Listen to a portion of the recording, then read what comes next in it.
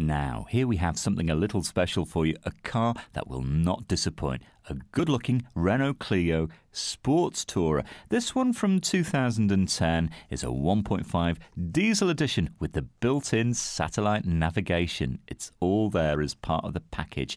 Not to mention lovely alloy wheels. I do like this car, and I think you will too. On the clock, we're looking at just around 4,000 miles, just a midge over, so it's hardly done anything. Looks stunning too, with its metallic black paintwork. Now, You've got a cloth interior. The driving position really good on these cars. Got a great view of the road ahead, and actually you've got a fairly spacious cabin as well. Aircon. You've got power assisted steering, which makes this medium sized car feel like a small one. ABS gives you that added braking confidence.